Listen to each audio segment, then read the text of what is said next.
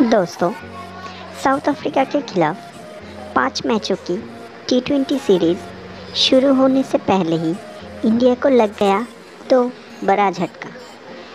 इस सीरीज़ में इंडिया की कप्तानी के एल राहुल को सौंपी गई थी, लेकिन कमर पे चोट लगने के कारण राहुल इस टी ट्वेंटी श्रृंखला से बाहर हो गए।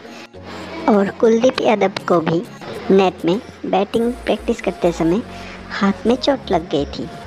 तो कुलदीप को भी इस सीरीज़ से हाथ धोना पड़ा। दूसरी तरफ़ अब ऋषभ पंत को कैप्टनसी सौंपी गई। इससे पहले ऋषभ पंत कभी भी इंडिया की कप्तानी नहीं की थी। आपको क्या लगता है, ऋषभ पंत को कैप्टन बनाना सही था या गलत? कमेंट में बताना।